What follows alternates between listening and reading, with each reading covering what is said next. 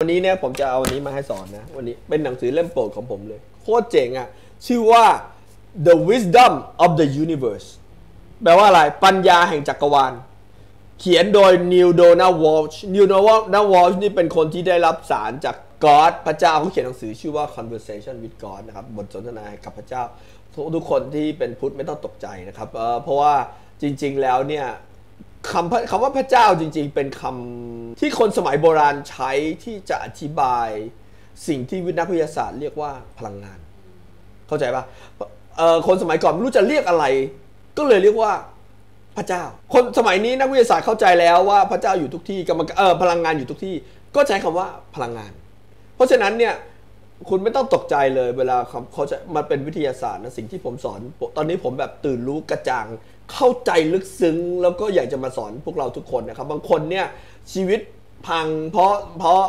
ความเชื่อผิดๆเยอะมากเลยนะ แล้วผมบอกได้เลยคุณไม่มีอะไรต้องกลัว เพราะว่าโลกนี้ออกแบบมาให้เรามีความสุข โลกนี้ออกแบบมาสนับสนุนเรา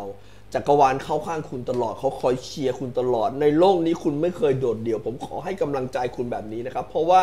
คุณไม่เคยโดดเดี่ยวเลย อะไรที่คุณปรารถนาอยากได้เนี่ยโอ้โหมีแต่จักรวาลพลังงานจักรวาลที่เขาลุ้นจะให้คุณได้อะคุณแค่ไม่ต่อต้านเท่านั้นเอง ทุกคนไม่ได้เกี่ยวกับสติปัญญาไม่ได้เกี่ยวกับความฉลาดความอะไรเลยนะ มันเกี่ยวกับคุณไปต่อต้านเท่านั้นเองเขาอยากจะจักรวาลนี่อยากจะลุ้นให้คุณประสบความสำเร็จอย่างมากเลย Wisdom of the Universe คือปัญญาแห่งจักรวาลเนี่ยคือหนังสือเล่มนี้แม่งโคตรหนา แล้วมันมีภาพสวยๆมากเลย แล้วดีทุกเล่มคือเขาสรุปย่อๆมาแต่ละแต่ละหัวข้อแต่ละหัวข้อแล้วผมโคตรชอบเลย แล้วอ่านแล้วมันลึกซึ้งมากเลยแล้วรู้เลยว่า เออนี่ปัญญาที่ใช่จริง ๆ ว่ะที่มันเอาเอาเอาไอ้เรื่องเรื่อง 90%ที่ไม่ค่อยเกี่ยวที่ของศาสนาที่ไม่ค่อยเกี่ยวกับปัญญาเท่าไหร่อะคือกลายเป็นพิธีกรรมไปแล้วอะใช่ไหมที่ไม่ค่อยเกี่ยวกับปัญญาเท่าไหร่เอาออกไปให้หมดหลือแต่ปัญญาล้วนๆเลยโอ้โหผมแบบ อ่านแล้วแบบแล้วมันแล้วแบบซาบซึ้งใจอ่านแล้วแบบว่ารู้สึกว่าดีมากเลย แล้วก็อยากจะมาบอกอันหนึ่งนะอันอันแรกเลยก็คือว่า the law of oneness the law of oneness one แปลว่าอะไร one แปลว่าหนึ่ง the law of oneness แปลว่าอะไร เราทุกคนเป็นหนึ่งเดียวกันหมดเลย เราทุกคนไม่มีใครแยกจากกันออกมาเลยแล้วเราทุกคนเป็นผืนหนึ่งเดียวกัน เวลาคุณมองหน้าคนอื่น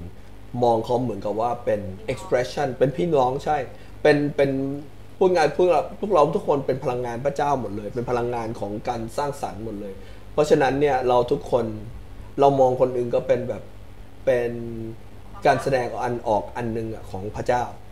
ใช่ไหมเราก็เป็นการแสดงออกอย่างหนึ่งของพระเจ้า เพราะฉะนั้นเนี่ยเราทุกคนไม่มองไม่เพียงแต่ว่าบางคนเนี่ยดูเหมือนกับว่าเขาขาดพลัง หรือว่าทำสิ่งที่เราคิดว่าเขาทำไม่ดีใช่ไหมเราตัดสินเองใช่ไหมแต่ว่าเขาทำเพราะว่าเขาไม่ได้จูน เขาไม่ได้จูนกับ จักรวาลเขาไม่ได้จูนกับพลังงานความรัก ถ้าเขาจูนเขาจะไม่ทำสิ่งนั้นเลย เพราะฉะนั้นเนี่ยถ้าคุณเนี่ยแบบอะไรอะถ้าคุณคุณไม่เคยจำเป็น เราไม่เคยจำเป็นที่จะต้องมีการแบบว่ามาลงโทษ การแบบมีนรกมาขู่ ไม่ต้องมีบาปมาขู่ เพราะถ้าคุณจูนกับพลังงานความรัก คุณจะไม่อยากทำสิ่งที่ทำให้คนอื่น เกินสิทธิ์คนอื่น คุณจะไม่มีการคิดร้ายกับคนอื่นอยู่แล้วเนี่ยมีครั้งหนึ่งที่ผมโพสต์ไปบอกว่าเนี่ยในโลกนี้ไม่มีนรกหรอก อันนั้นเป็นนิยายที่มนุษย์สร้างกันขึ้นมาเอง เพื่อขู่กันเองเพื่อขู่คนที่เขาอยากจะควบคุมอะพูดง่ายๆแล้วก็มีคนที่โกรธผมเลยนะอันฟอลโล่ไม่ฟังเสียงเลยทั้งสิ้นเขาไม่ฟังเสียงไม่สนใจทั้งสิ้นเขาบอกเออเขาก็ไปอาจจะ แต่ว่าผมบอกได้เลย คือถ้าเราจูนกับความรักเราไม่จำเป็นต้องถูกขู่ เราประเสริฐเกินไปที่จะต้องมาขู่มันเราเป็นมนุษย์ที่ตื่นรู้แล้ว นี่คือสิ่งที่มนุษย์คนมีปัญญาทุกคนรู้หมด the law of oneness เราทุกคนเป็นหนึ่งเดียวกันหมดเลย นะครับเรื่องนี้จริง ๆ ทุกศาสนาสอนเหมือนกันหมดนะทุกทุกศาสนาสอนนักปราชญ์ศาสนารู้เรื่องนี้มาตั้งแต่ไหนแล้ว แล้วจริง ๆ ข้อสองนะคือนักปราชญ์ศาสนาไม่เคยจบนะไม่หมายความว่า ไม่ใช่หยุดหยุดที่ตำราไบเบิล หรือว่าทั้งไตรปิฎกเขียนแล้วจบแล้วโอเค พระเจ้าให้ความรู้โลกจบแล้วนะ พระเจ้าไปแล้วนะ อันนั้นแหละจบใช่แล้ว ไม่นะครับจริงๆแล้วมนุษย์จักรวาลพระเจ้าสื่อสารทางปัญญากับมาเราตลอดเลย มีคนที่รับสารได้ตลอดเวลาแล้วเขาก็จะบอกเราตลอดเลยนะครับ แล้วก็แบบถ้าคุณได้อ่านหนังสือปัญญาแบบนี้สมัยใหม่นะหนังสือปัญญาสมัยใหม่เนี่ยแม่งโคตรเจ๋งอะมันแบบเฮ้ยมันโดนใจมันตอบโจทย์จอบตอบโจทย์อะไรที่คุณเราทุกคนอยากรู้ เราทุกคนอยากรู้ว่าคุณเกิดมาทำไม เราทุกคนอยากรู้ว่าเรามาจากที่ไหน เราทุกคนอยากรู้ว่าเราตายไปแล้วไปที่ไหน ทุกคนอยากรู้หมด เรื่องนี้มันไม่ ถึงแม้คนที่เรียกตัวเองว่าไม่มีศาสนาภาษาอังกฤษเรียกว่า atheist atheist ก็มีมีเยอะแล้วคนที่แบบไม่นับถือศาสนาทั้งสิ้นอะไรเงี้ยศาสนาไม่เป็นเรื่องเขาอาจจะคิดว่าเป็นเรื่องไร้สาระ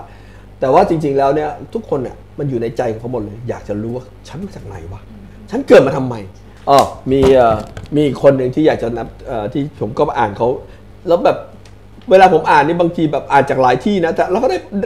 ดันพูดเรื่องเดียวกันโคตรแปลกเลยแบบพอผมสงสัยเรื่องไหนนะ ปึ้งปึ้งปึ้งมันจะมีมีข้อมูลมาแล้วพูดเรื่องเดียวกัน คือผมบอกได้เลยนะ เวลาคุณจูนตัวเอง เวลาคุณจูนตัวเองเนี่ย เวลาคุณจูนตัวเองแล้วคุณอยากจะรู้เรื่องไหน คุณสามารถถามไปแล้วคุณจะได้คำตอบ คุณขอแค่ถามอะในโลกนี้มันมนุษย์อยากจะรู้อยากอยากรู้อยากเห็นทั้งนั้นอะแต่คุณขอแค่ถามแล้วคุณจะได้คำตอบนั้นมา เช่น ผมถามว่าตกลงเนี่ยตกลงนี่มันคือใช่อันเดียวกันไหมคำว่าพระเจ้าคำว่าพลังงาน คำว่า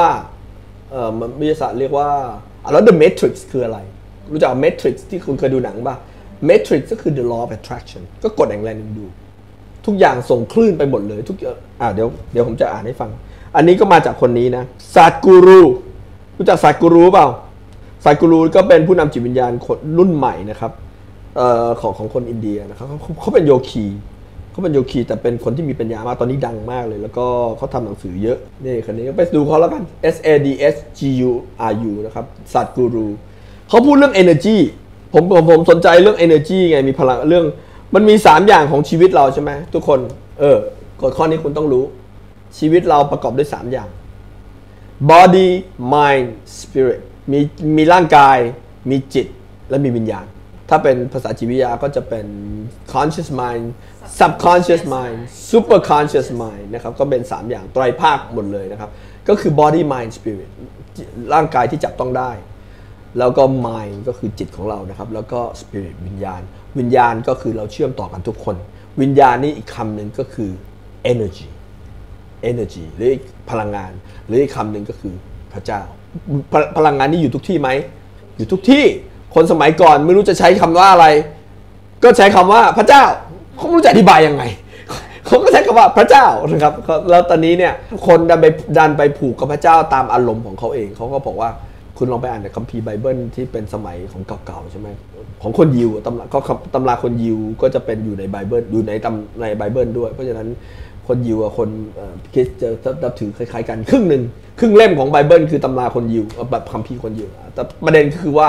พระเจ้าของเขานี่โคตรจะพิโรธร้ายกาจทำโทษมนุษย์ มนุษย์ทำชั่วนิดนึงส่งฟ้าผ่าลงมา อะไรมันก็คือนี่มนุษย์แม่งสร้างพระเจ้าในหัวเขาเองแต่ละคนแม่งสองพันปีแล้ว คนสมัยนั้นน่ะคนสมัยนั้นคือไม่มี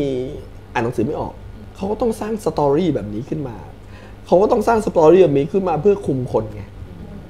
เพราะว่าคนสมัยนั้นสอนอ่านหนังสือไม่ออก แล้วก็มีความเชื่อแปลกๆ แล้วก็ไม่มีข้อมูลแบบสมัยนี้ไง แล้วเขาก็จะกราบไหว้อะไรที่มันไร้สาระที่มันไม่มีเหตุผลอะไรอย่างเงี้ย แต่มันก็ยังน่าแปลกใจนะ ก็สมัยนี้ก็ไม่ได้ตื่นรู้กันมากขึ้นเท่าไหร่ สมัยนี้ถึงแม้อ่านหนังสือกันได้เกือบหมดแล้ว ก็ยังไม่ตื่นรู้กันเท่าไหร่ ก็ไม่ คือมนุษย์เนี่ยอย่างสัตกูรูบอกคนที่หนวดเฟิร์มๆเมื่อกี้เนี่ย Sadhguru เขาบอกว่ามนุษย์เนี่ยมัวแต่ไปโฟกัสที่ไม่ใช่ไม่เคยโฟกัสที่สปิริตหรือวิญญาณ หรือจิตวิญญาณ แต่โฟกัสที่ร่างกาย พอโฟกัสที่ร่างกายเนี่ย ก็ไปเติบโตขึ้นมาก็จะไปแค่ดูแค่รอบตัว ดูแค่รอบตัวแล้วก็เอาความคิดของคนอื่นมา ไม่เคยมาใช้สมองเอง เข้าใจป่ะไม่เคยใช้สมองเองปัญหาของมนุษย์คือไม่ใช้สมองเอง แล้วก็เลยเชื่อตามๆกัน แล้วก็สมองฝ่อเสร็จแล้วก็พอใช้ชีวิตไปได้นานๆ ก็จะรู้สึกว่าไม่เติมเต็มเลยทำไมกูกูสาทำตามกฎพวกมึงทุกอย่างแล้วนะกฎกูหลักเป็นคนว่านอนสอนง่ายแล้วนะ นี่บางคนนี่เป็นเป้าหมายของเขาเลยนะ คือเป็นคนว่างอนสอนง่ายการว่านอนสอนง่ายนี่การคือการเลี้ยงให้เชื่องพูดง่ายเวลาคุณน่านอนสอนง่าย คือคุณกำลังถูกล้างสมองว่าอะมึงเชื่อกูนะแล้วมึงจะดีเองนะแล้วก็แล้วก็เดี๋ยวใช่โดนชักใยแล้วก็เขาก็จะเอากฎมาไม่ว่ากับพ่อแม่คนรุ่นเก่าคุณปู่คุณย่าคุณปาเตศิลธรรมอะไรก็ไม่ใช่ศิลธรรมเอ่อวัฒนธรรม วัฒนธรรมเก่าๆก็เอามา ใส่หัวกันใส่หัวกัน แล้วก็อะไรเอ่อ ศาสนาเก่าๆใส่หัวกันคนตั้งสองพันปีที่แล้วแม่งเชื่อกันยังไง สมัยนี้เราไม่ใช้สมองเองเราก็ยังไปเชื่อตามเขาอีกเพราะสมัยคนสมัยนั้นมันไม่มีการศึกษา แล้วเราจะไปเชื่อกันตามเขาอีกเหรอวะเขาบอกไม่ต้องกินอันนี้ เพราะตอนนั้นไอสัตว์ชนิดชนิดนี้มันสกปรกในช่วงนั้นน่ะมันจะไม่ชวนกินเข้าใจไหมแต่ว่าตอนนี้มันเปลี่ยนไปแล้วอะโลกมันเปลี่ยนแล้วต้องใช้สมองเองไม่ได้เหรอใช่ไหมแล้วมันก็ก็ เรื่องไอ้เรื่องอะไรผมจะให้คนแก่ๆ2,000ปีมาบอกว่ากูต้องตามตามกฎพวกมึง ก็มึงไม่มีการศึกษากูมีแล้วอะใช่ไหมแล้วกูมีสมองของกูเองอะพวกมึง2,000ปีที่แล้วอะใช่ไหมมึงเข้าใจไหมว่าเรื่องแบบนี้เนี่ยถ้าคุณใช้สมองเองไต่ตองเองเหมือนที่พระพุทธเจ้าบอกอะพระพุทธเจ้าบอกการามาสูตรแล้วสรุปคือการามาสูตรบอกอย่าเชื่ออย่าเชื่ออย่าเชื่อเชื่อเพราะมึงใช้สมองเองไปะก็จะสรุปคือประโยคสุดท้ายมึงใช้สมองเองเนี่ยก็สมองมึงโอ้โหพระเจ้าอุตส่าห์ให้สมองที่แม่งสุดยอด เจ๋งที่แม่งสุดยอดทำไมมึงไม่ใช้ใช่เข้าใจเปล่านี่แหละ ถ้าคุณตื่นรู้เองคุณจะรู้สึกว่า โอ้โห ชีวิตนี้สบายมาก คุณไม่ต้องทำตามกฎพวกแม่งเลย คือตะคุณรู้ไหมว่าเวลาคุณมาเกิดเนี่ย ในโลกวิญญาณนะ พระเจ้าไม่ได้เอากฎอะไรให้มาคุณเลย แม้แต่สิบบัญญัติสิบประการก็ไม่ได้เอามาให้คุณนะ จริง ๆ แล้วถ้าคุณมีไกด์ข้างในคุณไม่ทำอยู่แล้วไอ้สิไม่ไปฝืนกฎหรือสินห้าคุณไม่ไปฝืนอยู่แล้วอะถ้าคุณมีเป็นเป็นจูนกับจูนกับวิญญาณความรักก็คือจบ แต่เขามาก็มีกฎเหล่านั้น เพื่อที่จะควบคุมคนที่ไม่ค่อยมีปัญญาเท่าไหร่คนที่ไม่ตื่นรู้เท่าไหร่ เข้าใจไหมคุณจะเป็นคนแบบไหนคนที่ต้องมีคนควบคุม หรือคุณที่บอกอ๋อไม่ต้องกูไม่ต้องมึงสร้างกฎให้พวกกูหรอกกูทำเองกูเป็นผู้ตื่นรู้ละเพื่อนๆชอบความรู้ดีๆแบบนี้ อย่าลืมกด subscribe ใน YouTube ก็กดกระดิ่งด้วยนะครับ จะได้แจ้งเตือนถ้าใน Facebook ก็ follow แล้วก็จด see first นะครับ แล้วผมจะได้ส่งความรู้เจ๋งๆ ให้คุณตลอดเวลา แล้วเราเจอกันนะครับ ผมบัณฑิตวิรังศรีสวัสดีครับ